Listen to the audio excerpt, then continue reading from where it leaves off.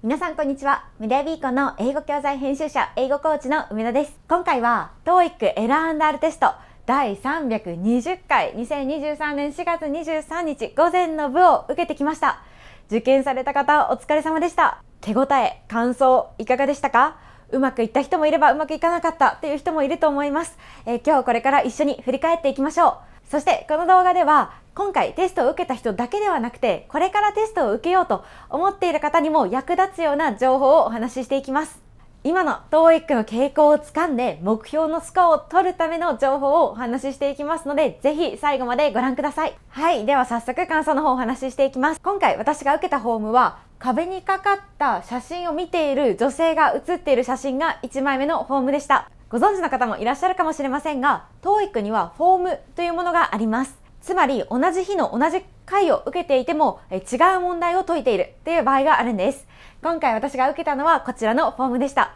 皆さんのパート1の1枚目はどんな写真でしたか？ただ、今回私がしていくお話は、まあ、どのフォームを受けた人にとっても役に立つような情報になっていますので、もしこのフォームじゃなかったという人も安心して引き続きご覧ください。はい。では、パート1から難易度をお話ししていきます。えパート1はやや難しかったです。実際の問題の作り自体はそこまで難しくはなかったんですけれども、ちょっと戸惑ってしまうようなポイントがいくつかありました。例えばこれですね。パート1の1枚目の写真ってだいたい人物が大きく写っていて人物の動作を描写している選択肢が正解になる場合が多いんですね。だけど今回は人物が大きく写っているんだけれども正解の選択肢は物を描写している選択肢だ。っていう問題があったんです。これちょっと戸惑った方も多いんじゃないかなと思います。で、確かに人がね、大きく写っている写真の場合は、その人の動作とか、その人が身につけているものが正解になる可能性が高いんですが、今回の問題のように、その人物以外の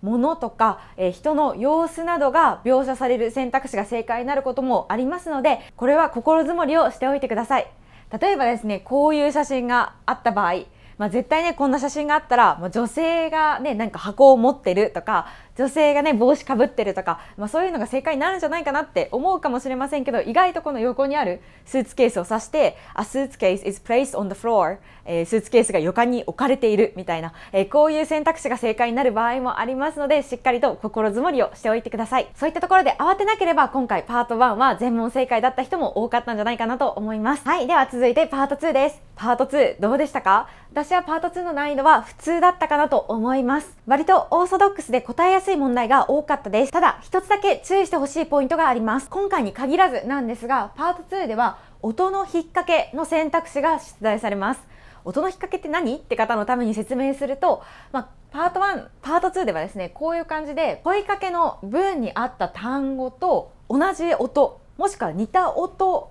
が選択肢に出てくる場合があるんですね。だけど正解ではない、まあ、これ誤答なんですけれども、まあ、似た選択肢の単語を使うことによってこれ答えなのかなって思わせてくるような、えー、そういう引っ掛けの問題が出るんですよ。でこれね知ってさえいればそんなにあの戸惑わないかなと思うんですけれども今回ねああこれちょっと引っかかっちゃうかもなって思ったのがこういう引っ掛けの選択肢が1問目、まあ、選択肢の1つ目ですね。選択肢の A にいきなり出てくるっていうパターンがありました。例えばですねこの問題ですね。Did you call the supplier? A? I went to the supply room みたいなのが出てきたりするんですね。で、これよく考えれば全然違うんですよ。サプライヤーに電話しましたかって聞いてる。供給業者に電話しましたかって聞いてるのに、まあ、サプライルーム、あの、備品室に行きましたって変ですよね。そう。文字で見れば変だなってわかると思うんですけれども、音で聞いてるとですね、このサプライヤーって聞き取れたって思って聞いていた後に選択肢の A でサプライとか聞こえてくると、あれ？これが正解かな？そんな風に思ってしまうんですね。なのでこれ要注意です。こういう選択肢、誤答の場合が多いので引っかからないようにしてください。えこの問題で実は大事なのはこっちなんですね。Did you call の方、電話しましたかって聞いてるんです。電話しましたか誰にサプライヤーにっていう風になってるので答えは電話したかどうかを答えるもしくはその情報にまつわるその情報についての答えでなければいけませんこれ惑わされてしまう人もったいないなと思いますのでぜひ対策をしておいてくださいはい続いてパート3ですパート3パート3は普通パート4はややなんとしましたえー、これですね結構毎回最近テストを受けるために新しい発見があるんですけれども毎回ですねシチュエーションや職種がどんどん増えていっていてあこれ今まで聞いたことないなっていうようなトピックとかあとは職業のお話とかがですね増えているんですよね。なのでなかなかですねこういった問題は新しい傾向新しい問題新しいトピックが毎回出題されているような状況ですのでこれに対策していくためには私たちもよりですねたくさんの幅広いトピックに慣れ親しんでおかないといけません。ただしですねこういういろんなトピックが出題されるようになったんですけれども問題の作り自体は変わりません。ですのであこのこれ何て言ってるか分かんないなとかこの仕事ってこの人たち何やってるんだろうとかえそういった詳細が分からなくても問題を解くポイントさえつかめていればきちんと正解できます。なのであまり慌てすぎないようにしてください。もしねあのリスニング満点取りたい、え TOEIC 満点取りたい900点以上取りたいっていうレベルの方は、えいろんなトピックに慣れ親しんでおくというのもスコアを上げる一つのポイントだと思いますので、えビジネスに関する映画を見たりとかドラマを見たりとか、えそういったことをやってみてもいいんじゃないかなと思います。だけど、まあ、それより下の人ですね、800点とか、えまだ600点とか目指すレベルの人は、あんまりこういったことは気にしなくていいので、まずは基本的な問題をしっかりと解けるということを目指しておいてください。あとはですね、結構仕事の具体的な話をするようなシチュエーションがあります。私も聞いていて、ああ、こういうこと仕事であるよなとか、えそういうふうに思い浮かべられるような、まあ、具体的なトピック、結構リアルな話が出てくるようになってきています。で、これは社会人の方はあんまり問題ないかなと思うんですけれども、え学生の方とかですね、あんまりビジネスのあんまりビジネスに詳しくないっていう方が、まあ、こういった話を聞くとちょっと戸惑ってしまう可能性もあるかなと思いますのでえよりビジネスのトピックにですね慣れ親しんでおくようにしてください。あとはですね、今回パート4いかがでしたか？結構苦戦した方多かったのではないでしょうか？えなんとなく答えがつかめないというか、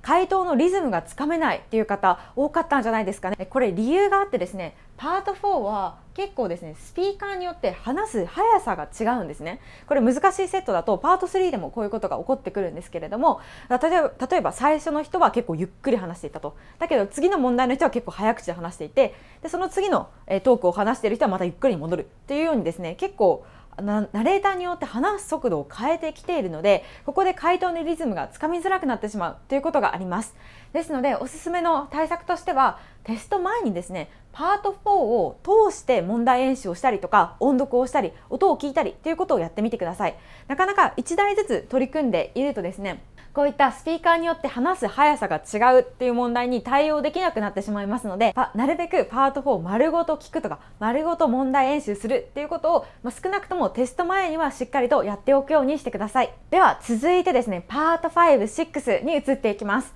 えパート56はやや簡単かなと感じました。ですがこれ人によって難易度分かれると思います。というのも今回はコロケーションが問われるような問題が多かったんですね。コロケーションっていうのは単語と単語のつみつながりとか組み合わせのことです。まあ、語彙問題っていうふうに言ってもいいんですけれどもその単語の文脈が分かってとかその単語の文中の中での使われ方をしっかり分かっていないと答えられないっていう問題です。でこれ難しいのは、まあ、パート56ですね結構テクニックで解かれている方も多いと思います。品詞問題だったらここを見るとか動詞問題だったらこういうふうに考えて解くとか、まあ、そういう解放ですねをしっかりやっているという方いると思います。でそれは素晴らしいんですけれども最近困ってしまうのがコロケーションを問うような問題は、テクニックが通用しないんですね。その単語の使い方を知ってるかどうかということになってしまいます。じゃあねコロケーション一個一個覚えていけばいいかっていうと、まあ、その通りなんですけれどもなかなか丸暗記しようとするともう全部ね膨大な量の単語のコロケーションを暗記するってまず不可能ですからそれは結構難しいんですね。なので、まあ、丸暗記しようとするのではなくて、まあ、英語の感覚を磨くトレーニングをしていくというのが大事なんです、まあ、このコロケーションっていうのは英語が話すことができれば自然と身についてくる力になります。え英語の感覚を磨くトレーニングっていうのは、例えば音読をするとか、英語のアウトプットのトレーニングをするとか、まあそういったことで英語に慣れ親しんでおくっていうのが大事なんです。ですので、ただ問題を解くとかですね、英文を読むとかだけではなくて、英語を声に出すとか、英語を自分で書いてみるとか、えそういったトレーニングを入れてみるようにしてください。特にですね、TOEIC 伸び悩んでしまっているという人はこういった力が抜けている可能性が高いですのでちょっとこの辺り意識して練習をしてみてください続いてパート7ですパート7はシングルパッセージ普通、マルチプルパッセージ簡単としました。ただ何台かですね、数台難しい問題はありましたので、そこに時間をね、使いすぎないようにするっていうのがポイントだったかなと思います。比較的簡単な設問が多かったです。で、難しい単語も少なめでした。ただし設問の意味をね取り違えてしまうような問題、まあ、設問の意味がしっかり分かってないと解けないような問題もありましたので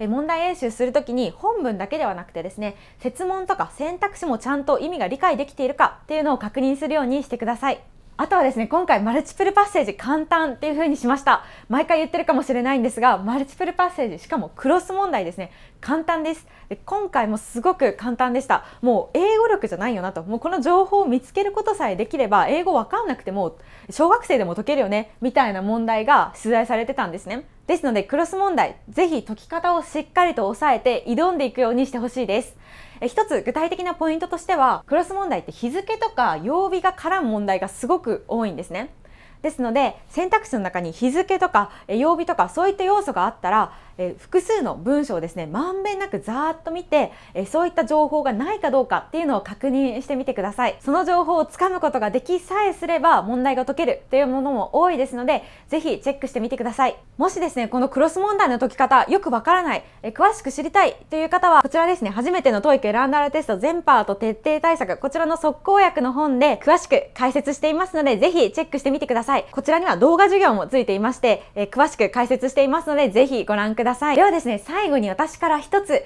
え TOEIC でスコアアップしていくための学習アドバイスをしていきたいと思います。今回ですね、問題を解いていても感じたんですけれども、TOEIC に求められる英語力って年々進化してますし、進化してます。えー、進んでるし深くなってるんですね。っていうのはレベル自体も上がってますしいろんな力が求められるようになっています。総合的な英語力が求められるようになっているということです。先ほどパート5のところでも述べましたように TOEIC はだんだんテクニックとか解放っていうのが通用しにくくなっています。もちろん、えそういったものを学ぶことも重要なんですけれどもそれ以前にちゃんと英語力がないとスコアが伸びないっていう状態になっているんですね。もともとそうだったんですけれども最近特にそういった傾向が強くなっています。ですのでより実質的な英語力本物の英語力をつけていくっていうのが大事なんです。もしですね、あなたが TOEIC の対策を一生懸命やっていて、でもスコアが伸びない、まあ、そんな状態になってしまっていたら、このそもそものですね自分の英語力が十分なのかここに注目して見直してみる。自分の勉強していることを見直してみる。ということをやってみてください。で英語力自体を上げていく方法ってどんな方法があるのっていうことなんですけれども、まあ、例えばですね基本文法とかあの基本の単語っていうのをしっかり見直してみる。っていうのもおすすめです。えこのチャンネルでは中学英語完全制覇とか前置詞完全制覇とかですね基本的な文法や単語を解説するような動画も上げていますのでこういった文法をちょっとね見直してみようかなって思われる方はぜひご覧ください。あとはですね今 LINE でプレミアムセミナーを開催しています。こちら無料のセミナーです。えー、こちらはですね全英語ジャンルを伸ばす英語学習法としまして、まあ、TOEIC を含む、まあ、基礎的な英語力をしっかり上げていくためにはどうしたらいいか何をやれば最短で英語力が上がるのかということについてじっくりとお話ししています。興味がある方はぜひご参加ください、えー、LINE からお友達登録で申し込みすることができます。一つ注意点としましてはこちらのセミナーは基本的には TOEIC600 点から700点を目指す方のためのセミナーになっております。コアが伸びないとか、えー、伸び悩んでしまっている基礎が足りていないかもあそんな風な不安をお持ちの方はぜひご参加いただければ何か新しい発見が得られるのではないかなと思います。そして私たちの公式 LINE ですね、えー、様々な特典をご用意して皆さんの学習をサポートしています。え、TOEIC の最新単語リスト、え、LINE 限定動画の配信、TOEIC 難単語リスト555選、パート1品質5位の73選などの豪華な特典をご用意していますので、まだお友達登録されていない方はぜひこの機会に概要欄のリンクからお友達登録をお願いいたします。えこの動画の下に出ているタイトルをクリックして概要欄を表示していただくとそちらにリンクが貼ってありますのでそこをタップすると LINE に飛ぶことができます。それでは今日の感想は以上になります。今回の動画ではかなり重要なポイントについてお話ししましたがいかがでしたでしょうか？皆さんの感想や質問などもコメントに書き込んでください。そしてこのチャンネルでは英語力アップや TOEIC スコアアップに役立つ情報を毎週配信していますのでそういった情報をこれからも見逃したくないという方はぜひチャンネル登録をお願いいたします。それでは最後までまで見ていただきありがとうございました。また次の動画でお会いしましょう。